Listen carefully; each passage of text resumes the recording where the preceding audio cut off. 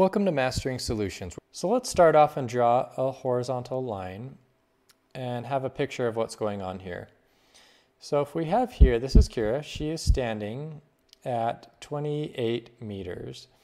Now I like to just think of this as a coordinate grid. So here we have zero and then up here we have 28 in the positive direction. And if we go this way along zero, obviously it's the negative direction.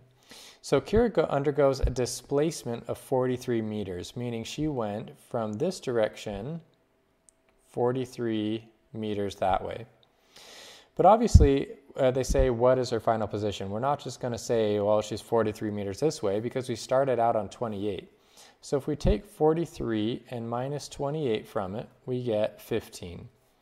So down here, we're going to be at 15. But since we passed the zero point, obviously we're not going to be at positive 15. We're going to be at negative 15. Another way to think of this problem is the delta x equation or the displacement equation. So delta x, anything delta, of course, is final minus initial. So we have x final minus x initial. So what we're looking for is the x final. We know the delta x is 43 meters, and we know that they started on the 28 meter line. So if we rearrange this equation by adding x initial, that goes away, and then we're left with x final equals delta x plus x initial. Now you have to be careful here, and I like the number line analogy for this because it helps so that we don't get confused here.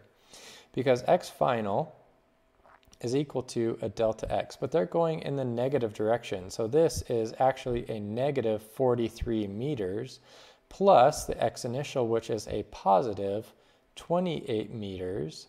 So x final is equal to a negative 15 meters, just like we found up here.